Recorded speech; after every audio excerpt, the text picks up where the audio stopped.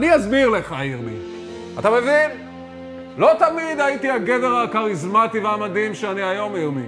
פעם, גם אני הייתי ילד תמים, קטן וחמוד.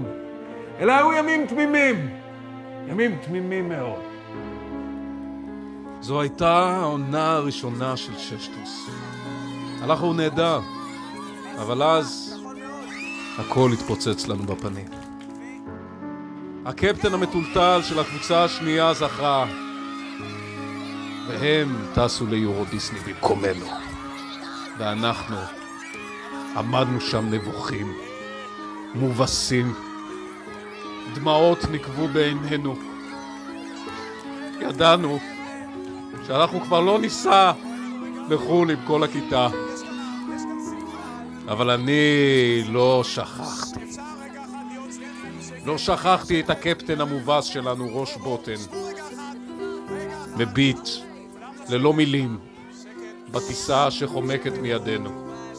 לא שכחתי את צהלות הצבועים של הקבוצה היריבה. לא שכחתי את החרפה שבתבוסה. ונשבעתי, או נשבעתי, שיום יבוא וגם אני אסע עם כל הכיתה לחו"ל, או יום יבוא וגם אני אסע עם כל הכיתה. לאנשהו. מעניין אם זה מרגש אותך, סגנית המנהלת רננה, כי מה שקרה אחר כך ריגש אותי יותר. שום דבר לא מסתדר לי בזמן האחרון. היי ליאור, אה, וואו, מי אתה? אני אתה, ליאור מעבר. אתה אני? מהעבר? אני אתה? אתה אני? וואו, זה מטורף, מה אתה עושה פה? תסתכל על עצמך, אתה אדם מבוגר ומאופר כמו נמר.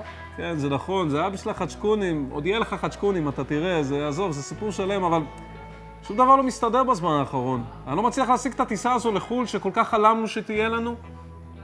א' כל, לא כזה היה לי חשוב לטוס. ב' כל, למה אתה פשוט לא קונה כרטיס? לא יודע, אתה יודע, אני פה, ואין לי עבודה, ואין לי כסף, אבל אני עובד על זה. אני, אני, אני, רק חסר לי איזה משהו, מה אני יכול לעשות כדי להשיג את הטיסה הזו שכל כך חשוב לנו ממנה? אל תקשיב לאף אחד, תמיד תהיה אתה. אתה יודע מה?